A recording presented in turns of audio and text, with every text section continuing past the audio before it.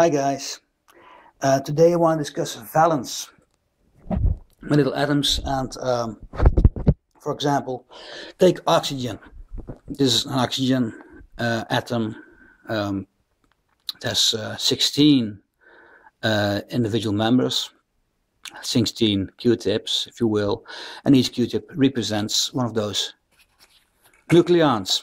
So, um, but oxygen has eight valence, eight electrons in the outer shell. So why, if it uh, reacts with, with hydrogen, why don't we get H8O? We get only H2O. So 2H binds with oxygen, not 8. And, but we have 8 valence, so what's happening over here? Well, it's a, just a small example of how um, the number of electrons doesn't mean the number of valence. Um, those eight electrons, they, they, go about their business. Um, and we can see in the middle, those four are flagged down. Those are the neutrons. As I've explained before, uh, this is the most efficient way to get as many neutrons into protons, which means the four in the middle have, have to be flagged down, have to be neutrons, which means the all the other eight can all turn as protons. Look at them from this point of view, from the top. You have those four uh, ribs of the pyramid. And since every Q-tip represents one of those little engines, you have these nucleons spinning around all of those ribs the pyramid. So it's a cross section.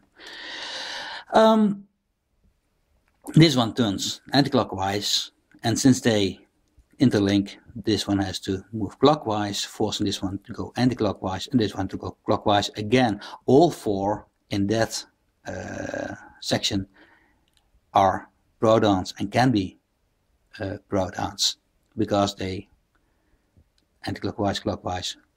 So this thing has two of those mechanisms, one on the top, one on the bottom.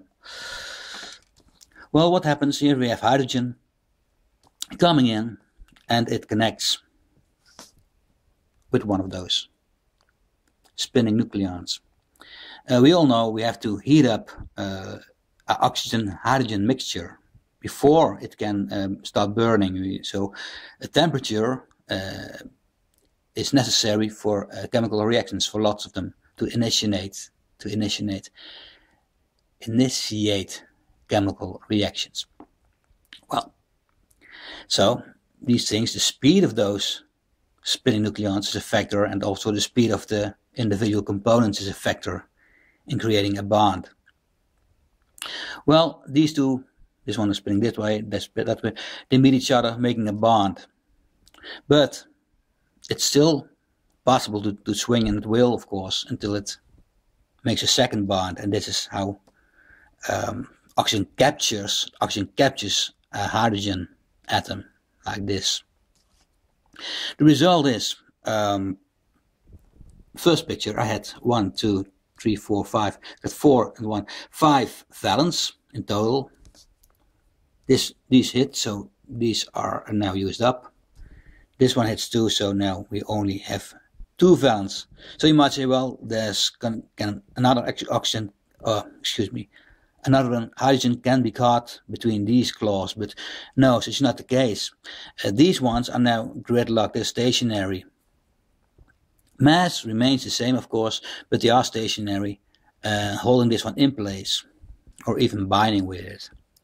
Which means these ones have to um,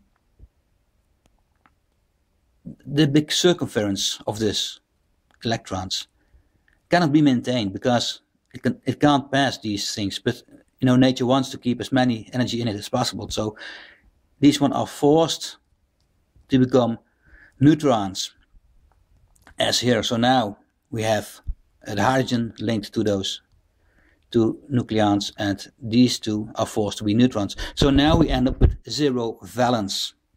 So this is how you get from one little connection, one hydrogen hits those, hits this system, and suddenly there is zero valence. And this can happen both top side and bottom side of this object. Next page, um, as shown earlier. Oh, I painted them pink, but it should, it should be yellow. Uh, this one hits this one. They make uh, a connection, uh, bouncing into each other, causing this one to rotate. Now, what are the chances of connecting? Because connecting has to do with speed. You have to make, uh, you have to have speed to to bind. So if uh, hydrogen comes in from this side, well, fat chance because this one is turning away all the time. So most chance is this side, not the side, not the back, but this side. Because this one is turning that way, has speed, this one has speed that way. So that's the most chance of creating another connection which ends right here with uh, a familiar H2O. You can see the O oxygen atom, hydrogen atoms. This is the most uh, logical, most sensible way of connecting the second one on this side. So this, is how you get H2O. Um, well, that's all. Thanks and bye.